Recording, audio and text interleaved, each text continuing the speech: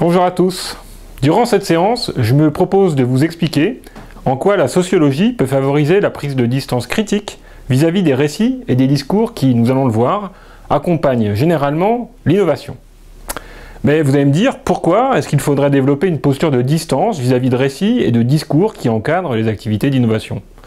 Si nous nous intéressons à cette dernière, est-ce qu'il n'est pas pertinent d'écouter ce que les acteurs, les entrepreneurs, les ingénieurs, les commerciaux, voire les utilisateurs qui la rendent possible ou en tout cas intéressante, est-ce que c'est pas intéressant de les écouter pour savoir ce qu'elle permet de faire et ce qu'elle a à nous dire?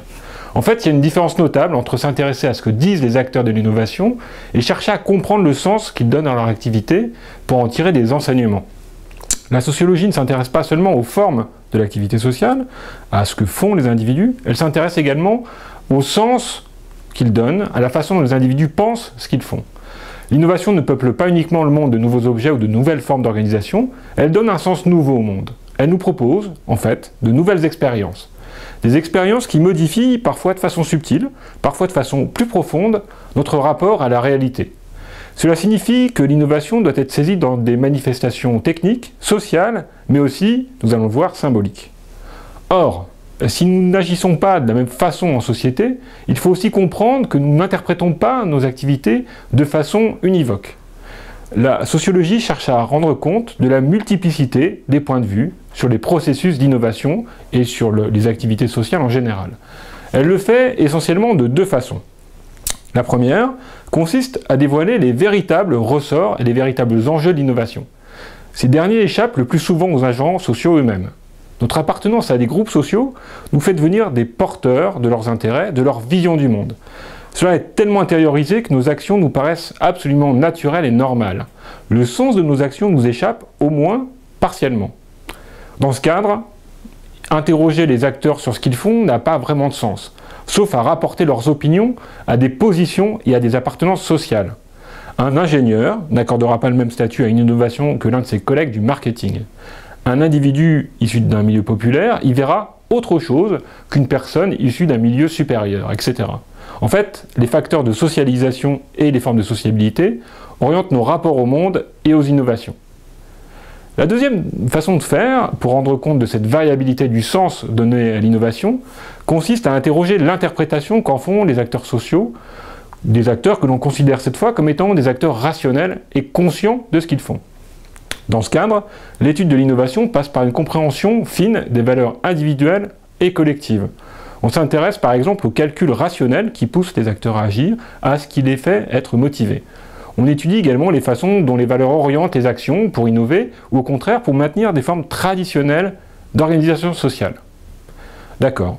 Vous êtes en train de vous demander en quoi ce qui concerne la sociologie peut bien vous intéresser, vous qui êtes venu ici pour entendre parler d'innovation plutôt que d'entendre parler de sociologie de la façon dont on en fait.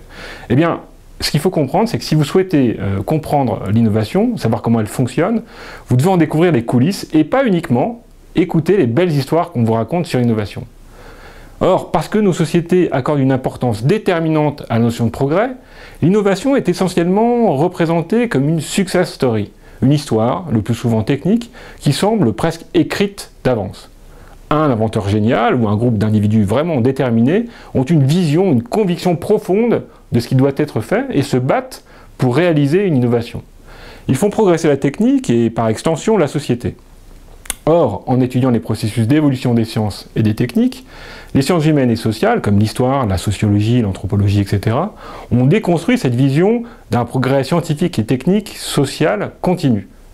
Pourtant, nos sociétés occidentales accordent un très grand crédit à ces récits techniques, à ces histoires qui nous font paraître modernes et, disons-le tout de suite, supérieures aux autres sociétés contemporaines ou passées. Il y a une composante idéologique à l'innovation. Des discours qui émanent de certains groupes sociaux qui justifient leurs actions et les rendent légitimes pour mobiliser d'autres composantes de la société et pour la transformer, mais aussi, euh, dans une certaine mesure, pour la faire perdurer. D'ailleurs, nous verrons un peu plus tard dans une autre vidéo que l'innovation est aussi une affaire de domination et que certains discours sociaux ont aussi et peut-être surtout pour fonction d'assurer une sorte de statu quo social. Quoi qu'il en soit, les discours produits sur l'innovation brouillent, altèrent modifie notre compréhension des processus qui euh, en sont à l'origine. Aussi, à moins que vous, ne vous intéressiez spécifiquement au discours ou aux imaginaires techniques, vous préférez plutôt partir d'une interrogation sur ce que sont les individus et ce qu'ils font quand ils innovent. Quelles sont leurs opinions? Euh, Certes, c'est intéressant, mais c'est intéressant rapporté aux activités qu'ils développent concrètement. Autrement dit, si vous vous intéressez au processus d'innovation dans votre environnement, qu'il s'agisse d'une entreprise ou d'une institution, il vous faudra commencer par observer les pratiques de ceux qui innovent ou pas, ainsi que de leurs clients ou de leurs usagers.